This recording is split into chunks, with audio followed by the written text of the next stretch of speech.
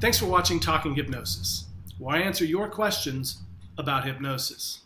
I'm hypnotist Jim Kellner, and my goal is to give you a greater understanding of hypnosis.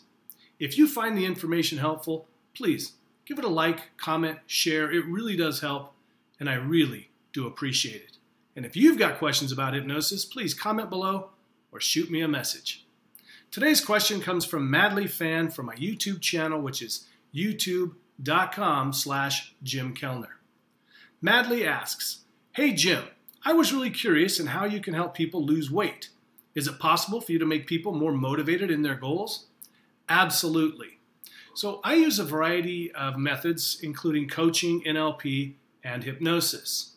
And with all those techniques, I really just support you in doing what you need to do to be successful. Let me explain. So whether we're, you're trying to lose weight or trying to change any kind of behavior or habit, whether it's smoking, um, you want to give up biting your fingernails, you want to become a better speaker, there are certain things that you need to do to be successful. And so with hypnosis, it just makes doing those things easier because you got to do it on a consistent basis. You could think of hypnosis like a lever, really, because a lever just helps you to lift things easier. Hypnosis helps you to lose weight, quit smoking, stop biting your fingernails, become more confident. It makes it easier. Because what I help you to do in the hypnosis, for instance, if it's weight loss, perhaps you need to make better food choices. So with hypnosis, instead of that drudgery and fighting yourself all the time, I use the lever of hypnosis to make it easier to make those choices.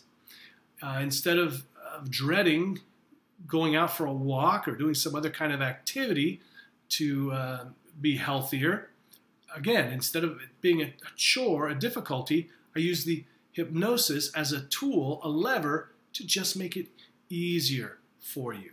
And pretty soon, you'll also start hearing my, my uh, suggestions as you're doing things. And some of the suggestions I might say are um, I find it easy to make healthy choices. You know, um, I enjoy moving my body. And those sort of start to become your own affirmations. And after a while, it just becomes easier. I hope that helped. I'll be doing further videos on explaining how hypnosis works and answering more questions. So thanks again for watching. Take care, be well, be awesome.